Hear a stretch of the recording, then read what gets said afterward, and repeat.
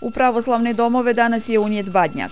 To je posljednji dan posta, dan kada se obavezno priprema posna večera, a prati ga i druga simbolika. Unošenje slame, bacanje oraha i pijukanje djece.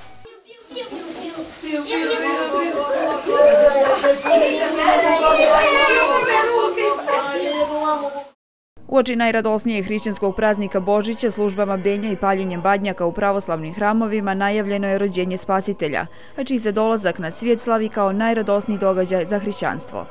Mi, braćo i sestre, slavimo, radujemo se i pjevamo, kao nekada anđeli u Vitlejemu. Slava na visini Bogu i na zemlji mir, među ljudima dobra volja. Božić je porodični praznik i slavi se u kući.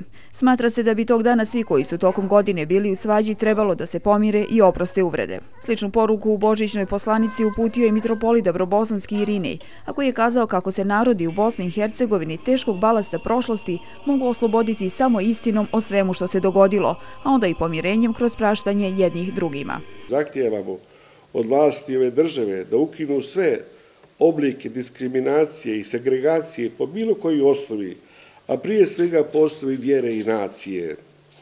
Žalostna je činjenica da mi u 21. vijeku moramo pominjati i govoriti o ovim neprihvatljivim društvenim, a prije svega političkim devijacijama. U Božićnoj besjedi patrijar Srpske pravoslavne crkve Irine pozvao je vjernike da se mole za mir u svijetu kako bi se oni koji drže poluge moći okrenuli dobru. Ne bojimo se, umjesto ozamanskih briga i straha, molimo se da mir Boži danas ispuni naša srca.